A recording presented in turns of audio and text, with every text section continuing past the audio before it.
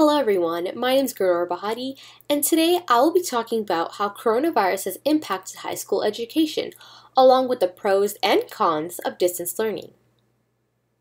What has changed?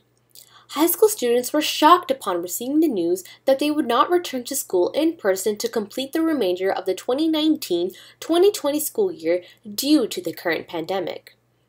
The traditional school setting was drastically impacted by the pandemic as in person teaching was halted and distance learning became implemented.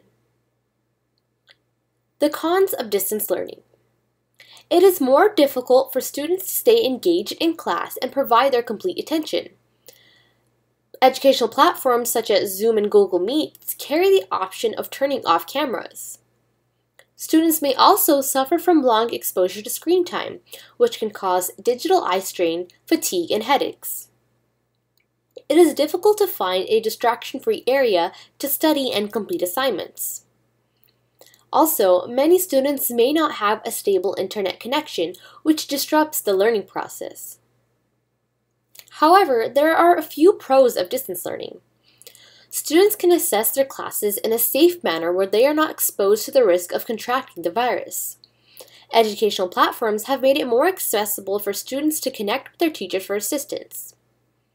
Also, it teaches students time management and organizational skills. What does the future for education hold? School districts that have implemented distance learning hope to return to in-person teaching after the first semester is completed. Schools will only return to their normal classroom setting if the circumstances are safe to do so. The students' health and safety is top priority, and school districts will act according to what students will benefit most from. Thank you very much for listening to my presentation.